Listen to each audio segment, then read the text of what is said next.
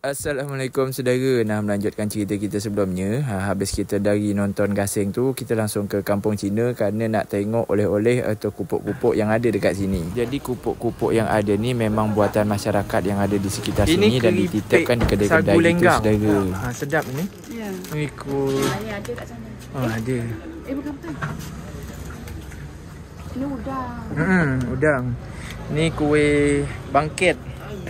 Bangkit apa ni? Ni kuih aduh, kuih lampam. Hmm, Belacan. Belacan. ni?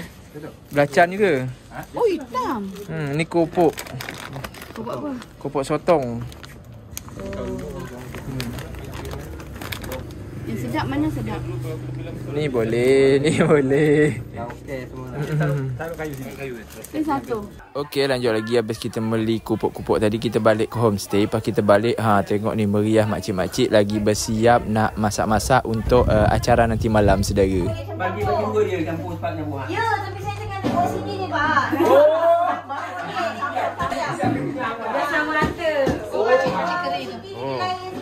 Oh, pakcik masak.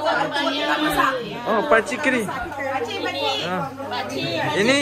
ini tengah hancurkan sardin untuk buat sandwich nanti. Oh. Dimasukkan nanti sama dengan telur dan mayonis. Telur? Telur dengan mayonis. Oh, telur dengan mayonnaise. Ya, untuk inti sandwich nanti. Okey. Ulangnya Ulangnya pedas. Petai.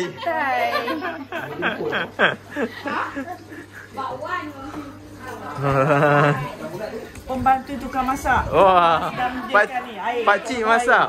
Ah, ni chef, chef. Chef. Chef.